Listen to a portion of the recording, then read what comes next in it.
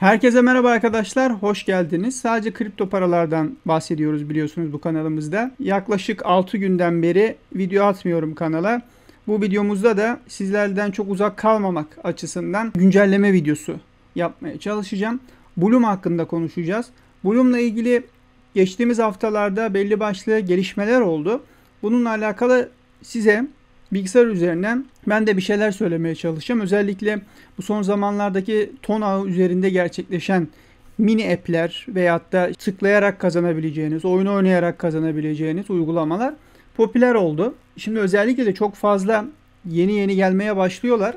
Daha da fazla gelmeye başlıyorlar ve bunların pek çoğu da aslında kazançlı çıkacağımızı düşündüğümüz projeler. Şimdi bir tanesine değineceğim. Onun gibi olduğunu düşünmüyorum Bloom'un açıkçası. Pixel Tap'ten bahsediyorum. Bilmiyorum dün takip ettiniz mi Pixel Tap ile ilgili? Son derece saçma sapan bir airdrop yaptılar. Ona değineceğim birazdan aynı zamanda. Ama konuya geçmeden beni takip etmek isteyenler kanalıma üye olarak takip edebilirler. Telegram veya da Twitter'dan takip edebilirsiniz.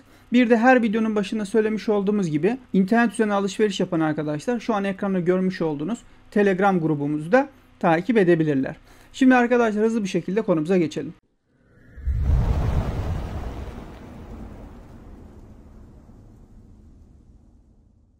Şimdi öncelikle Pixel Tab'den ya da Pixvi'den bahsedeyim. Pixvi arkadaşlar benim daha önceden tanıtmış olduğum hem uygulamasının olduğu hem de dashboard'unun olduğu yani hem bilgisayar üzerinde kasabileceğimiz, fiiller toplayabileceğimiz bir de uygulaması üzerinden pixler toplayabileceğimiz. Yani aslında hem uygulamadan bunun pixini topluyorsunuz puan olarak bir de fi'sini topluyordunuz. Şimdi şöyle bir şey yaptılar. Çok saçma sapan bir şey. Daha önceden hiç söylemedikleri bir şey yaptılar. Uygulama içerisinde şöyle karakterler var. Siz bu karakterlerin seviyelerini istiyorsanız arttırabiliyorsunuz.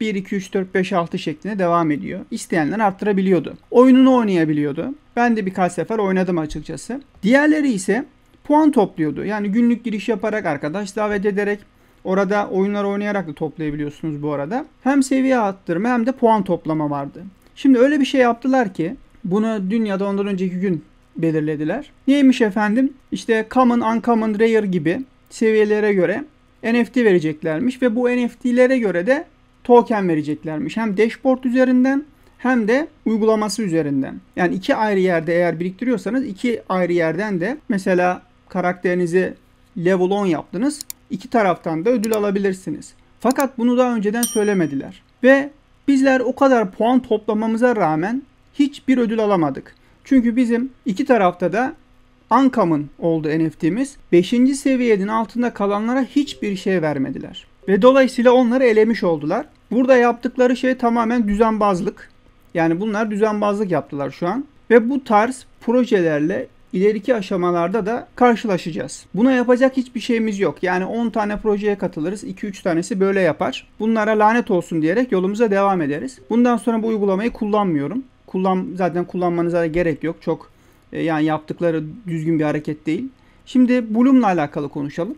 Bloom'un böyle bir şey yapacağını zaten düşünmüyoruz. Çünkü Bloom'da ileriye dönük oyun da farklılaşabilir. Onun dışında yol haritası içerisinde bazı özellikler var. Biliyorsunuz Bloom zaten bir merkezi olmayan finans ya da merkezi olmayan borsa şeklinde çalışacak. Telegram üzerinde. Şimdi bunların yol haritaları yayınlandı arkadaşlar. Daha yaklaşık olarak kaç gün olmuş? 16 Temmuz işte kaç gün 3 gün mü 3 ya da 4 gün oldu. Burada bunları yayınlayalı. Şuradan baktığımız zaman şuraya kadar zaten yaptık. Ton cüzdanını bağlama kısmı görevi var.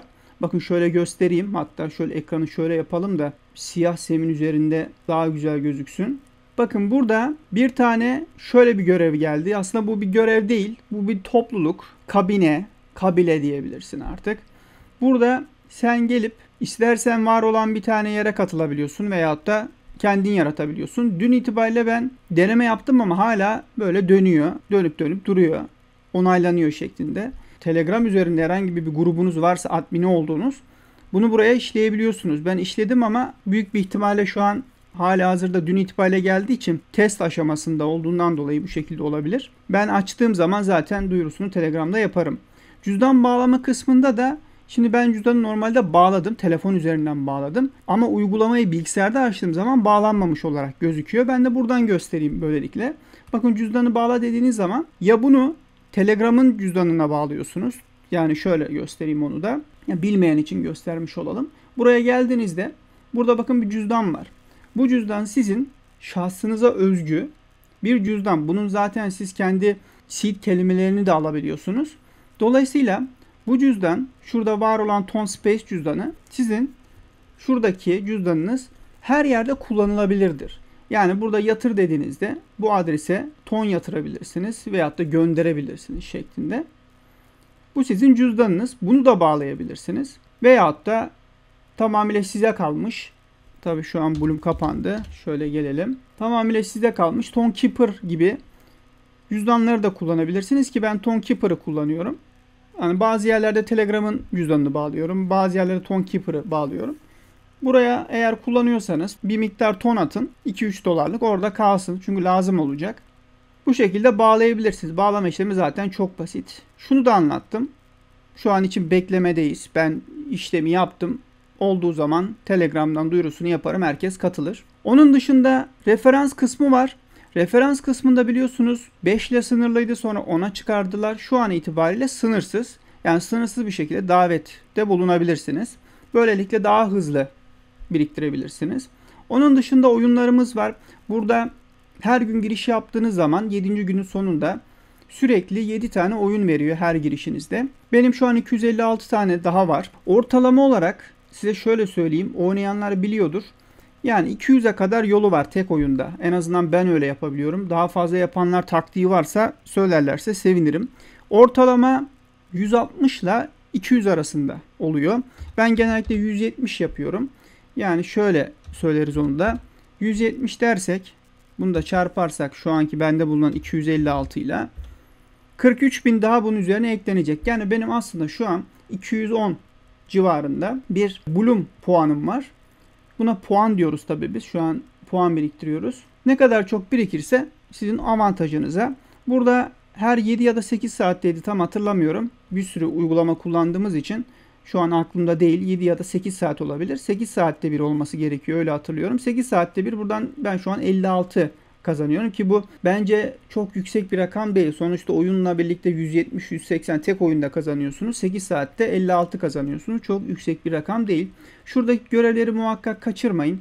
Yani burada özellikle YouTube izleme görevleri var. 200 puanda gerçekten hani 56 8 saatte bir kazanıyorsanız yani 16 saatte kazandığınızdan daha fazla tek video izlemeyle ki videoyu da tamamen izlemenize de gerek yok.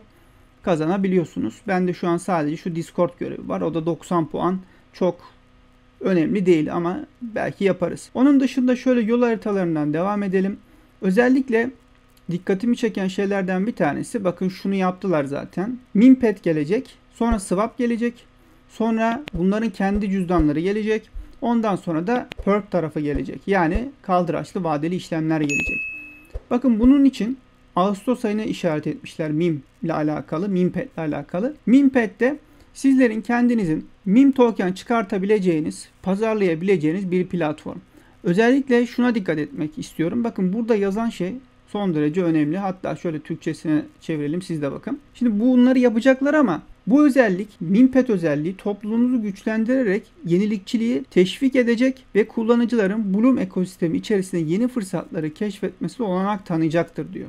Bu önemli. Onun dışında bakın burada 3. ve 4. çeyrekte bu yılın baharla birlikte başlıyor. Yıl sonuna doğru aktif olarak geliştirmekte olduğumuz gelişmiş işlevlerle kapsamlı bir Bloom ürünü yaratma. Nedir burada? Hibrit bir borsa zaten oluşturacaklar. Takaslar yani swaplar, cüzdanlar, perk kısmı ve bakın en önemli kısım bu. Kim bilir sizin için daha da fazla sürprizimiz olabilir ancak bunları şimdilik gizli tutuyoruz. Bu kısım bu yılın sonunda muhtemelen ürünler ortaya konduktan sonra Bloom puanlarının token'e dönüştürülme aşaması olabilir. Ondan dolayı bizlerin Özellikle bu 3 aylık periyot içerisinde ya da 3-4 aylık periyot içerisinde daha hızlı davranıp Bloom'la alakalı çalışmaları yapmaya devam etmemiz gerekiyor.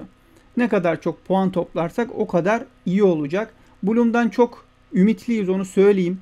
Yani benim şu ana kadar TEP uygulamaları içerisinde en çok tuttuğum Bloom'dur. Onun dışında birkaç tane daha var tabii ki. Ama Bloom gibi projelerin Notcoin zaten birinci seviyede şu an itibariyle. Bloom onu da geçebilir. Çünkü bir borsa hem cüzdan hem swap platformu merkeziyetsiz bir yapı.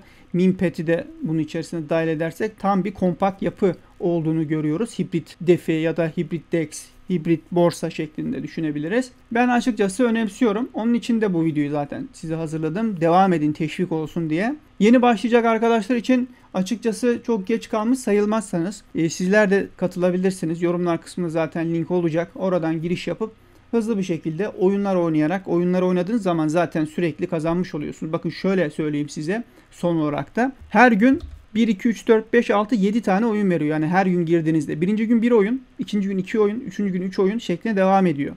Bir hafta boyunca, bir hafta boyunca ne yapmış oluyorsunuz? Toplam 28 mi yapıyor? 1 artı 2, 3, 4, 5, 6, 7 aynen 28 yapıyor. 28 tane oyun demek. 28 tane oyundan 170 puan demek. 4000 puan demek. 4760. 4760 çarpı 4760. Yani siz bir hafta içerisinde 5500 puan biriktirebilirsiniz. Bütün oyunları oynayıp günde 2 sefer tıklama yaptığınızda 5500 puan yapar. Haftalık 5500. Ondan sonra her gün 7 oyun geleceği için bu şekilde katlanarak devam eder ve siz daha ileriki zamanlarda işte bir ayın sonunda, bir buçuk ayın sonunda çok daha fazla biriktirmiş olursunuz referans olmadan. Referans olduğu zaman zaten çok daha hızlı birikiyor. Benim anlatacaklarım bu kadar. Yorumlar kısmına varsa görüşünüz bırakabilirsiniz. Onun dışında videomuza da bir like atarsanız sevinirim. Videolarda biliyorsunuz like önemli etkileşim için. Like'ınızı esirgemezseniz seviniriz. Bir sonraki videoda görüşürüz. Video içeriğimiz burada sonlanmıştır. Yorumlarınız, düşünceleriniz veya önerileriniz bizler için önemlidir. Bu yüzden mutlaka yorum yapmayı ve beğeni atmayı unutmayınız. Bir sonraki videomuzda görüşmek üzere kendinize iyi bakın, hoşçakalın.